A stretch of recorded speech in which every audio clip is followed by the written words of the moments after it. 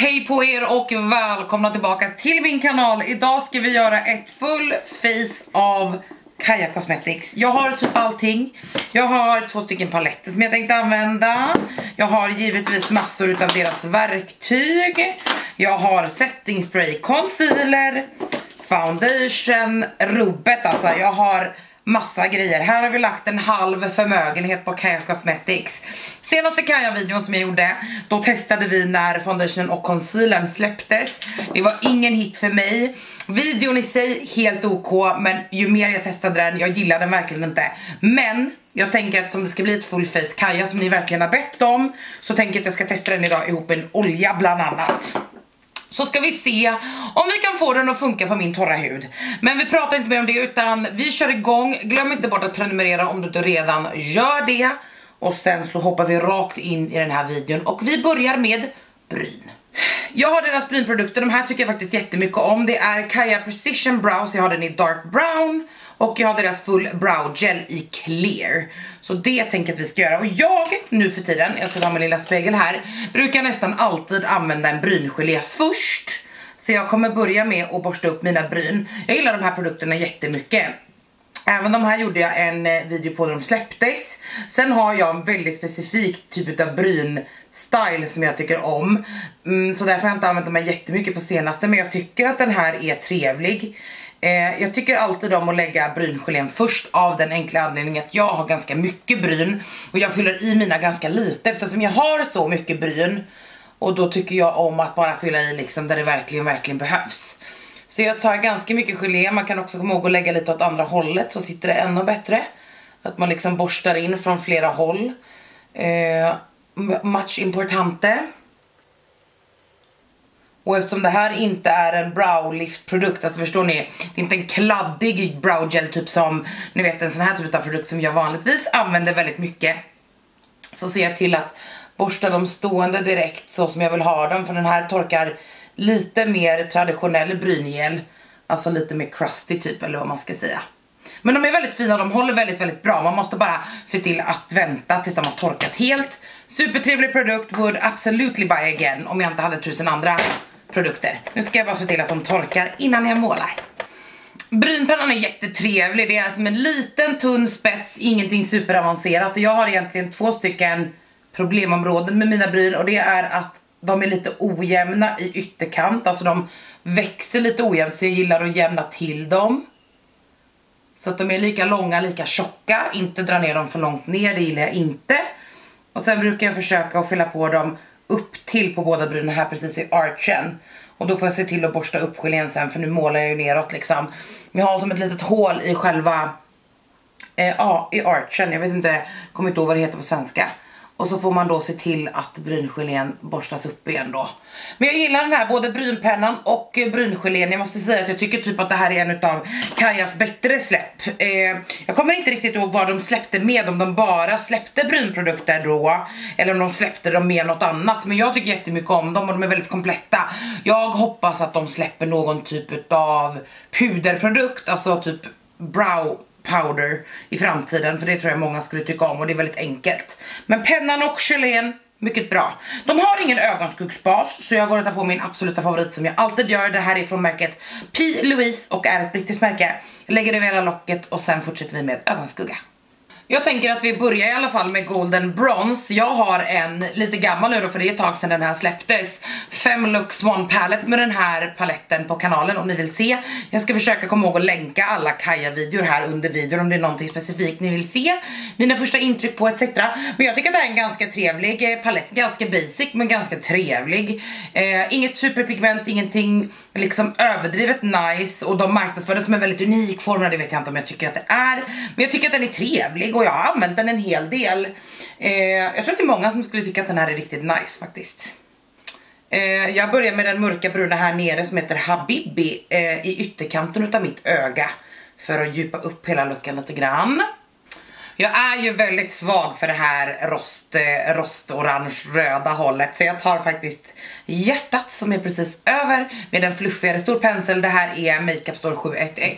Som ni märker här så använder jag inga Kaja-penslar till ögonen och det är helt enkelt för att jag har inga.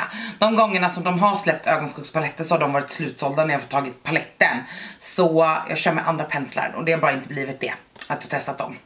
Och jag tar ju helt enkelt den här hjärtat då som är en ganska terrakotta orange eh, och fluffar i ytterkant precis över den här mörkare bruna. Och sen så går jag in med första färgen igen då med Sigma E25 och Habibi och bara mörkar upp det lite. Så jag vill ha det bara lite lite mörkare så att det verkligen blir some definition. Sedan har jag också då deras Metallics palett som är den här röda paletten som har bara skimmer i sig. Och jag tycker inte så jättebra om den paletten. Jag förstår att man vill ha typ en kompletteringspalett, du vet så med skimmer men de här är alldeles för lika i färgerna så det här är inte tillräckligt mycket variation för att ha en hel skimmerpalett. För jag behöver fortfarande komplettera med andra skuggor om jag ska kunna göra en fullbordad eh, look, alltså, alltså förstår ni vad jag menar? Även om jag har matta skuggor så kanske jag vill ha mer färg. Det här hade räckt med typ en quad eller du vet så. I don't really like them. Formulan är det inget fel på. Jag gillar bara inte färgvalet så mycket. När man har valt att göra, vad är det då? 4, 8, 10 skuggor så är, är de väldigt lika på ögonen. Det blir väldigt samma resultat. Eh, men jag börjar med Lynx som är den här skimriga i, ja det är en varm skimrig härlighet i metallic paletten. Och jag måste verkligen säga, om jag inte var tydlig med det alldeles precis, att formulan är det absolut inget fel på. Jag hade bara tyckt att de här är så lika varandra att man lika bra hade kunnat ha ett en fyra pan palett eller två stycken olika fyra pans palett kanske. Och det hade fått väldigt väldigt samma eh, resultat på ögat. Men skuggorna är fantastiskt fina. Så lättjobbade både med pensel och eh, finger eh, jag kör vidare på den här jag tar en ljusare här också och jag tar, eh, jag tar den över som heter Serious. Så där har ni en enkel och otroligt effektfull liten look. Jag tänker att jag går och sätter på mig ett par fransar off cam och sedan så fortsätter vi med basen. Vroom, vroom! jag hoppas att Kaja släpper fransar någon gång för jag älskar fransar. Jag har på mig ett par Splittans Ploysans nya, det här är från Your Lashes sommarkollektion. Jag har haft de här förut, jag älskar dem men de var helt nya och de är så fina. I really love them och de är lite så här flärd i utkanten. Så det blir väldigt bra till den här sotiga grejen. Eh, jag har ju en primer från Kaja, det här är ju deras The Perfect Prime. Jag tog fram den för att jag skulle visa men jag kommer inte använda den eftersom jag blir lite lite torr av den här. Alltså jag ogillar den inte men jag gillar den inte heller, det är inte riktigt min typ av primer. Men eftersom foundationen är så torr så tänker jag inte att jag ska utsätta min hud för mer torr. Det jag ska göra först dock är, det här är en av mina absoluta favoritoljor. Det här är från märket Milani, deras Green Goddess. En annan som jag verkligen tycker om, som jag inte vet vad den är, vilket betyder att jag tror att jag hade den med mig till Stockholm men jag har inte plockat upp den necessären eh, när jag var i Stockholm nyligen. Det är Beauty At Primer Oil. Men jag börjar bara med att ta lite lite grann. Det ser ut som att jag tar mycket men jag tar verkligen bara halvdroppar här, några stycken. Och lägger som en primad bas. Jag har lagt en fuktmask nu på morgonen. Jag har gjort jag har gjort allt för att min hud ska vara det absolut bästa. Jag har haft en sheetmask, jag har haft en fuktmask. Jag har allting. Jag känner mig inte speciellt torr. Och vi ska se om jag kan få den här Kaja foundationen att funka. Jag lägger bara ett jätte, jätte tunt lager jätte, jättelite verkligen olja. Jätte, jätte, jätte, gud hur tjatig kan man vara? På ansiktet innan. Sen ska vi då ta den här Kaja foundationen. Nu har inte jag använt den här på någon vecka igen. Jag ska också blanda i lite, lite grann i, i en pump bara utav deras flytande highlighter. Det är Pearl Swirl. Och sen tänker jag, oj jag hade inte stängt oljan. Jag höll på att slänga ut den över hela mig. Sen tar jag en droppe, två droppar, tre droppar i den här. Så gör vi en liten cocktail. Så att eh, för er som då undrar då vad jag tyckte om medan jag blandar den här då. Jag har för övrigt färgen 1N i foundationen. Jag har också 2 W men den är alldeles för mörk. Eh, för er som undrar vad jag tyckte om den här foundationen då, som inte har sett videon kanske. Alltså den var inte hemsk först, men ju mer jag använde den desto värre blev det. Och ju längre jag hade den etc. Så det, det, den funkar inte för mig. Eh, och problemet är egentligen inte, alltså allt kan inte funka för alla, det är bara så. Mitt problem är att, eh, mitt problem är att de marknadsför den som någonting så här glowy, flowy, passar alla hudtyper, perfekta foundation, bla bla bla. Och det är det liksom inte, den är snarare mer gjord för en oily combination kanske. Och det stör mig lite, lite, lite, lite grann. Och kolla det känns mycket, redan mycket bättre. För det första så har den lite mindre täckning givetvis när man blandar ut den med någonting annat. Men den ser också lite mer glowy ut. Jag vill också säga det att svampen ifrån Kaja är magisk. Magisk när den kommer in i lager igen så ska jag definitivt köpa några till. Den här är så bra. Älskar storleken, den är stor, den är jättemjuk och den är jättelätt att rengöra. Vilket inte alla är, verkligen inte. Älskar denna. Okej, okay. den ser fortfarande ganska kakig ut. I'm not gonna lie, ni ska få se nära sen. Men det ser betydligt bättre ut än de sista gångerna jag har använt Kajas foundation. För då har jag sett ut som en torr mess alltså. Vi ska se hur den här känns sen. Jag kommer inte heller att sätta den här idag. För att jag vill verkligen att, jag vill att den ska funka. Jag tycker det är tråkigt, jättetråkigt att den inte funkar. Eh, som sagt, oavsett, jag tycker ändå om Bianca, jag tycker att Kaja har släppt jättemycket bra produkter och det är så tråkigt att ett släpp som jag var så jävla taggad på inte är så himla bra. Så, ja, det är vad det är. Färgen är också en riktigt grym färgmatch på mig, inte en helt perfekt färgmatch längre. När jag testade den första gången så tyckte jag det, men nu har jag hunnit vara lite ute i solen och så. Men ni ska få se eh, helt nära och se och avgöra själva vad ni tycker om den är bättre än sist. Och när jag zoomar in så här så sänker jag också ljusstyrkan så att man verkligen ser texturen på huden. Jag tror jag ska göra det lite till, jag zoomar in er lite lite till. Så här ser den alltså ut, ni ser att jag har betydligt mer lyster i huden, då har jag både flytande highlighter och olja i den. Eh, jag ser ganska kakig ut så här. Kolla här mellan, jag vet inte om ni ser, jag hoppas att ni ser. Men här mellan pannan, alltså det ser absolut inte katastrofalt ut. Det vill inte jag säga, det gör det inte. Det ser betydligt bättre ut eh, än förut när jag använt den. Jag tycker faktiskt att den ser ganska schysst ut. Jag som ändå är helt okej okay med den sminkade looken, jag tycker det är fint. Så fin. Fin lyster med allt det där på. Sen tar jag också That Dewy Look Glow Setting Spray. Det här är en av de bästa grejerna från Kaja. Jag har båda setting spraysen. Mm. De är så trevliga båda två. Jag gillar båda, That Extra Hydration och Glowen. Eller Dewy. Det är faktiskt skillnad på glow och do. Jag tycker om den här jättemycket, både förpackningen, allting förutom kanske doften. Jag tycker att doften är lite lite stark. Men I really like it. Jag bouncear in den här lite grann i huden. Eftersom jag inte har något puder på så går det bra. Mm -mm. I'm looking snatched. Det ser riktigt nice ut nu. Nu har man mycket glow i huden. Jag förstår hur de har lyckats få glow i den här. Men Bianca som är så torr, det är det som är lite problemet då som jag hade med den här är att Bianca själv är, säger att hon är jättetorr och marknadsför sedan den här som är så glowy, dewy, alltså hon ser så glowy ut och lystig ut på bilderna och jag fattar det, hon har highlighter och rubbet på sig men då är jag också så här, men säg bara som det är att den är matt. Då hade vi ju förstått! Då hade den fått så mycket mindre skit tror jag den här lanseringen om man bara hade marknadsfört den så. Och det är jättemånga människor som föredrar att vara matta och är väldigt oljiga. Så I understand. Concealern däremot, katastrof. För det första så gillar jag inte att färgen är så mycket ljusare till den här. Det här är alltså 1N och den är så himla mycket ljusare än vad foundationen är. Det här är liksom under all kritik, jag vill inte ha en så här mycket ljusare concealer. Jag tar alltså 2W då som är alldeles för mörk istället. Och så blandar jag ihop de här, det är det jag har gjort. Den här, det finns ingen räddning. Jag ska spraya lite sån här på. Alltså, det finns ingen räddning för den här concealern. Jag har testat den med olja, jag har försökt att få den att funka, det går inte. Eh, nu kändes det kanske som att jag tog ganska mycket, I did not. Det är för att den är så himla ljus så ser ni att den syns väldigt tydligt på min hud liksom, för den är vansinnigt ljus. Eh, det ser lite bättre ut när man har så här mycket annat i ansiktet, oljor och sprayer och så. Men jag ska inte behöva tycker jag. Det är inte meningen att den här videon på något vis ska vara bara som en negativ fest. Men det är så många får fortfarande dagligen frågor om Vad tycker du om Kaja Foundationen nu när du har använt den ett tag? Och det har inte ändrats speciellt mycket. Jag gjorde flera stycken reels och insta stories om den när den släpptes. Och jag var så taggad. And it doesn't look good alltså.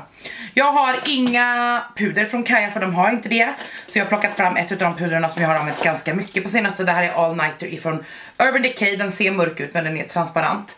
Jag sätter bara lite lite under ögonen och gör klart ögonskuggan. Och jag kommer lägga samma skuggor som jag lagt uppe under ögat hela vägen. Och sen fortsätter vi. Vi går vidare till roligare saker och det här är en av mina favoritprodukter ifrån Kaja. Det här är deras, eh, den heter bara bronzer eller? Kaja bronzer i färgen Ladig, jag vet aldrig hur man säger det där. Jag har gett upp, det här är Kaja F04. En av mina favoritpenslar, de här tillsammans är magiska. Man får vara ganska hårdhänt, de är inte jättepigmenterade. Och det här är den ljusaste färgen. Jag hade antagligen gynnats av att ha ytterligare en utav de lite mörkare. Men jag har också den här snälla rara. Det här är sassy, de här har ramlat ut. Så de här kan jag plocka ut då, men skitsamma. Jag har också den här, jag plockade fram den ifall att jag var sugen. Men jag gillar inte de här riktigt lika mycket som singel eh, grejerna då. Det här är Face Palette Sassy och den är trevlig men rouget är alldeles för pigmenterat och highlighten är alldeles för ljus. Så jag föredrar att använda de här. Men bronzer och eh, contour i den är jättetrevliga men jag gillar verkligen eh, den här bättre. Det här är faktiskt en riktigt bra produkt. Alltså den här är jag big fan av. Eh, skulle definitivt, nästa gång jag beställer grejer eh, så ska jag beställa en lite mörkare sån här tror jag. För att den är väldigt, väldigt ljus. Hela den här Lajig, men den är jättefin. Men man får eh, definitivt, nu satte jag nageln i den, man får liksom gräva, det är som en hybrid mellan puder och kräm. Alltså du kan arbeta med den som ett puder. Men den är så krä eller den är så, ja, den är så krämig för att vara ett puder att man liksom får gnugga ner penseln lite grann. Men jag gillar den jättemycket, det blir ett otroligt naturligt bronsat resultat. Svårt att göra fel och det tycker jag är nyckeln med Kajas produkter. Det är väldigt mjukt och svårt att göra fel liksom. I really do enjoy it, especially this one. Rougen plockade jag fram två stycken för jag visste inte än vad jag skulle ha på ögonen. Det här är, de här köpte jag ju allihopa när de släpptes. Det här är Kajas blush i Wild Strawberry som är en av mina favoriter. Och sedan är det Raspberry Passion, men jag tror att jag tar strawberryn. Den här är Wild Strawberry, ja. den är så himla fin. Men jag har som sagt alla fyra, men ja, jag gillar dem jätte, jättemycket. De här är kanonbra. Ganska små. Det här är F03 som är precis som F04 fast den är lite mindre. Man får en jättefin, de här är också så lätta att jobba med så lätt att få pigment, ni ser ju. Till och med nu när jag ändå har en osatt, rätt kladdig bas eftersom jag har olja i den och allting. Så bländar de här som en dröm. Lite lite på näsan. Ja, jag gillar de här jätte, jättemycket. Det här är verkligen också... Alltså jag tycker att alla de här produkterna i de här förpackningarna är det bästa. Det måste jag nog ändå säga. Då finns det mycket som jag gillar, men jag älskar... Nu tar jag bara svampen och går över. Men jag älskar dem och de är verkligen i samma klass som många andra märken i samma prisklass. Which I really enjoy. Wow, min bas idag ser jättefin ut. Highlighten är Kajas eh, Sydney highlighter och den är jätte, jättefin. De har inte en perfekt highlighterpensel tycker jag. Det här är en ganska mjuk highlighterpensel. För det första så tycker jag att man får ett väldigt, väldigt mjukt glow. Nu ska jag få se. Alltså det blir inte ett så skrikigt glow och det tror jag att många av er gillar. Men highlighten i sig är ju extremt pigmenterad och väldigt glowy så att det blir ju ett extremt fint glow. Jag behöver nog ingen annan pensel. Men annars så gillar jag en mer eh, hårt packad highlighterpensel som inte blir lika flimsig. Men kolla på den här highlighten. Lite på snoken, lite överallt annars. Den här, den här typen av highlight dock, i resten av ansiktet. I really enjoy eh, med den här penseln. Och det är, det är också ett jättebra pensel om man vill sätta under ögonen och så. Jag har två av de här faktiskt, så mycket tycker jag använder jag dem ändå. Och penslarna är jättebra. Kaja-penslarna är jättebra, kvaliteten är fantastisk. Jag tror att det är jättemånga som är jättenöjda med Kajas penslar. Jag är bara en pro hiccup. Alltså jag väljer oftare mina hiccup-penslar framför mina Kaja-penslar. Men med det sagt, jag borde använda mina Kaja mer för de är so nice so really nice. Nej, jag hade tänkt använda Pearl Swirl som en grund, men det spelar ingen roll. Som ni ser behövs det inte någonstans. Vi avslutar med lite mer setting spray. Och med lite mer så menar jag givetvis massor mer. Och det är dags för läppen. Läpppennorna är jättebra, jag har två färger. Jag har Sonoran och Mojave. Jag vill ha den som heter Bianca. Men I don't have, I don't, uh, i haven't bought it yet. Jag gillar verkligen de här, de är lätta att... Eh, de är lätta, jag gillar verkligen de här. De är lätta att eh, vässa, lätta att applicera. Det här är alltså Sonoran som jag linar mina läppar med. Och jag overlinar lite lite grann framförallt på min underläpp för att jag har eksem där och jag behöver liksom göra en ny läpp eller man ska säga.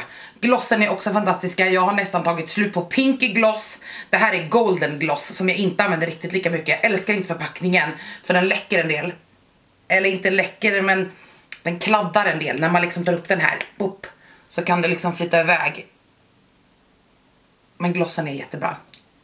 Och där är jag färdig med mitt full face av Kaja Cosmetics. Jättekul tycker jag. Vad är era favoritprodukter från Kaja? Jag måste ändå säga att det är som sagt produkterna i den här förpackningen. Settingsprayen är jättetrevliga. Svampen är amazeballs. Den borde ni faktiskt på riktigt absolut köpa när ni beställer från Kaja nästa gång och den har kommit i lager.